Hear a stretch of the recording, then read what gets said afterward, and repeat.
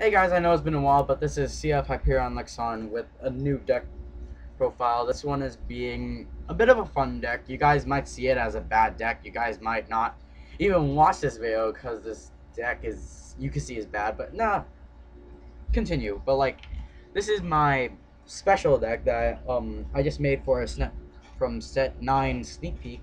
Um, so it's not really complete, but it's, the majority of it is. So, you know, you can't complain from that. So then, let's get started. Stand up, my Vanguard. So you start off with a Spring Breeze Messenger. So you guys thinking like, what kind of deck is this? You you expect it to be something like a Crossride deck, but no.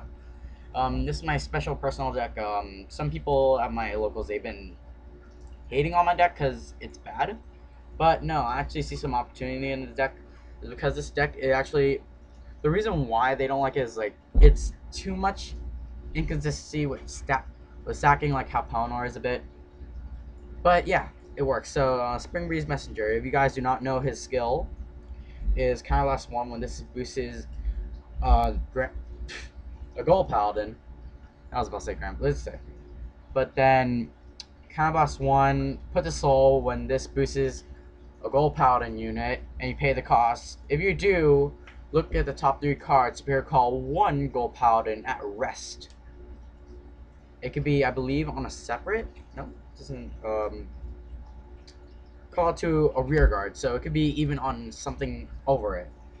So it could be just some like it could be over like a trigger that you accidentally called or anything like that, but is at rest, so you cannot have free attack out of it. But if you guys know how to use them correctly, then you know how to use them. So now we're gonna start off with triggers. We're going to have run two Silent Punishers, two Daunticles. I feel happy that I got some. Yeah, they're nice. They are nice. Uh, form flame victories. Um, his skill is basic is um is a Marvel clone, which is actually you put him from the field to soul in order to select one gold paladin unit, and it's gaining three thousand. So it's basically you minus a trigger, but you can somehow hit cross rides, which I don't really see too much right now. Like that reminds me, like in the meta where I'm at, like I, I expected set nine for the meta to change so much, but no, it's just regular regular. Like I don't see any, too many cross rides. The only cross ride I still see is dope, which is not as much played. Um, and then of course the set nine cross rides might come out in the future because like right now they are very low since it's still sneak.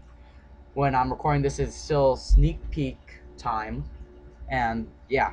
So then I run four speeder hounds. I could run Gwydion or anything. Just do not run Falcon Knight of the Azure, and I can not believe I still remember the name of it. And then, last of all, four heals. Uh, pretty standard. 8 crit 4 draw. And then, grade 1s. I run 4 Gareth. Um, Gareth is a good beat stick. And then, um, his ability, it's no ability. But like his ability for boosting units allows you to hit cross rides. Like most of the cards in this deck, since of course gold paladins, they lack the defensive part against cross rides or 11ks in general. But if you would put this behind a few mains, you could just hit a cross ride for using 10 shield, which is still good. So I don't complain about that. Next, I run four Halo Shield marks. Uh, sadly, I did not pull the reprint one, but like uh, my friend did, and now he's all flaunting it. But yeah, I'm fine.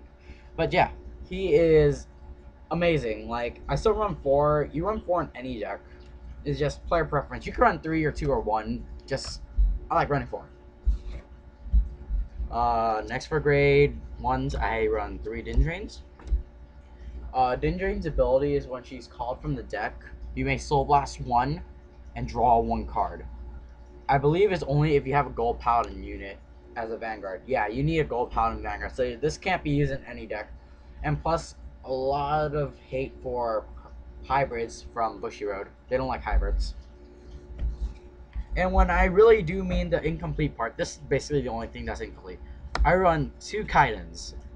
I'm supposed to be running the third one, but then next card you can see why. Um, his ability is Counterblast 1, retire one unit, And when this boosts and hits the Vanguard, while it's boosting a Gold Paladin, look at the top card of your deck and Superior called it at rest in an open rear guard, and put the rest to the bottom of the deck, in any order. Like, most of the Superior calling in this deck is basically put it to the bottom in any order. Um, he is good. He pressures even, like, basically the only attacker attacking rows you see that, like, are pressured is Vivian Rose and a Spring Breeze row. But this guy he allows you to he stays on the field too. So like you can't hit back row as well unless if you could retire it. But yeah. So he is pretty deadly. And then last I run one Slayle Dagger. Um it's a basic booster right now um for my main Vanguard. If I did not if I still have any extra counter blast I want to try whoop that for final turn. But other than that, it's supposed to be the third Kaiden. But right now, it still actually works.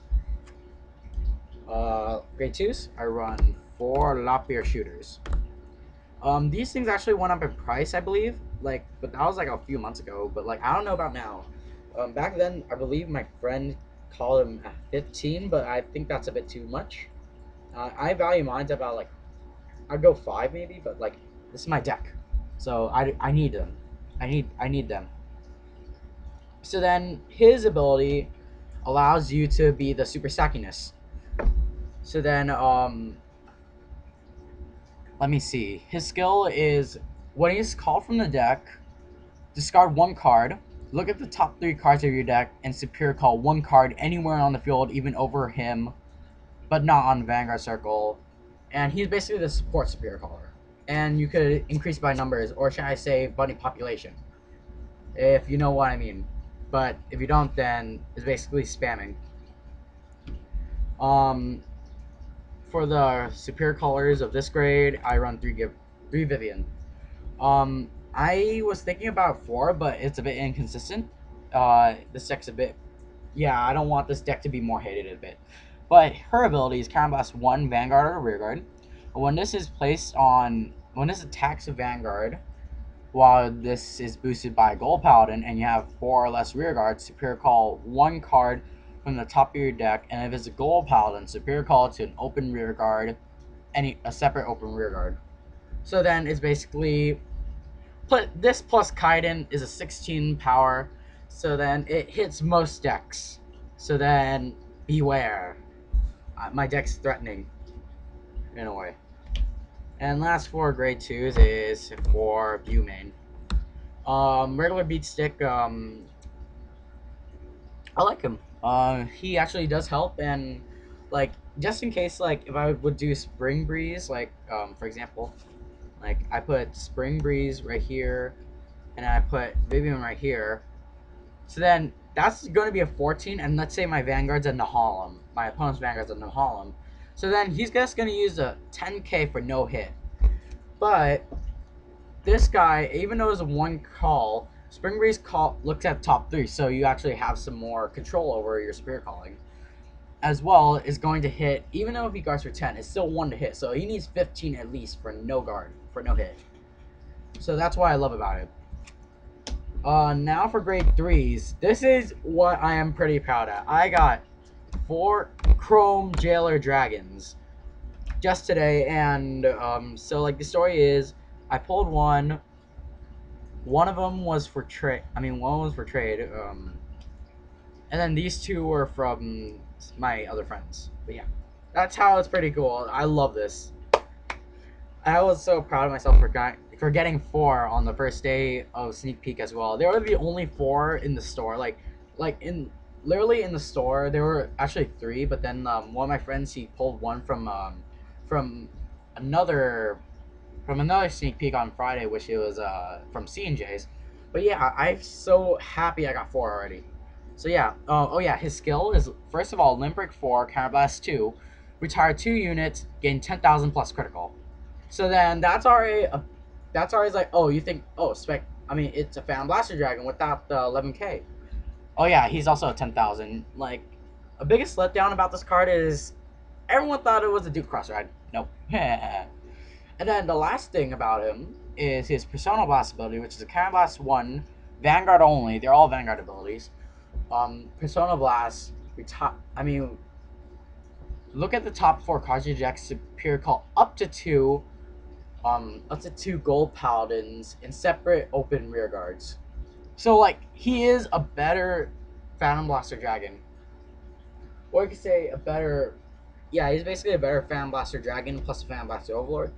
Um, you can, like, this is how um, this is how I did this once. Is like I use its ability to Limit Break for retire, bring them. I mean, do the Persona Blast, and then I could try to get Dindrains out of my Superior Calling, or try to regain population with my Lop Ear shooters, and then do the Limit Break again. And then now I still have. I didn't really minus too much in hand, besides one um one Chrome Jailer that turn, and plus if you rode well if you rode it, but that was like a few turns ago, and that's only if you could achieve by having no counter blasting, which is very weird in this deck. You really actually do counter blast before you bring him out but just in case. And as well, like, its ability is massive. So it's going to be 20 critical 3, and plus you actually somehow repopulate your field, so then now you can hit for high numbers again. And then it forces your opponents out the perfect shield, or if they don't, then you could try to stop their hand. But usually do that when they're at low hand count, like 5 or less. Then that works. Next for grade 2, this is the why people hate my deck. I run two Pelennors. This is my Chrome Bunny deck. Some of you might have left this um left this deck profile out, but dude, this deck is awesome. And then his ability, first of all, is Limit Break for no Counterblast. Um, return two gold powder and rear back to the bottom of the deck in any order. Um, select up select up to two units. They gain 5,000 power but you cannot select the unit twice. And then the second ability is when this is placed onto the vanguards, I mean on the rearguard circle from the deck, you may discard one gold paladin and then put it onto the vanguard circle. This is not considered a superior ride, quote unquote Bushiroad, because if you do, then you will get like solitary knight Gancelot off. You could get like this weird combo with Spring Breeze off. But other than that, oh, just something like that. And it was just amazing. Like I like how they stated like you only like this is a movement from vanguard circle to I mean from rearguard to vanguard circle. So yeah, that's pretty much good. Last, I run two Garmores. Um, his ability, first of all, is Limit Break 4. When this attacks, it gains 5,000 power.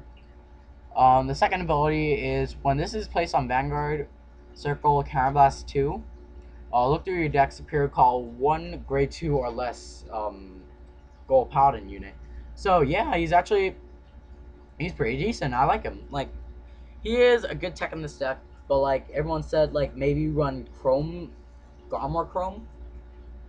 Yeah, but this deck is awesome. Like, this is my Chrome Bunny deck. This deck has gotten me so much awesomeness um, since its birth and I hope you guys love this deck. I love this deck right now, but if you see any mistakes or any um thing you consider, like, oh, why you run this, and then you can question my actions during the, in the comments. But other than that, um, give your opinion of this deck. I'm pretty open-minded. Um, sorry about that. Um, but yeah, I'm pretty open-minded of this deck. I want to see any more suggestions. I want to see if it works or not. But other than that, I actually did pretty good. So yeah, this is CF Hyperion Lexon saying goodbye, have a nice day. Hope you have a great summer, because right now it's in the summer. But yeah, bye.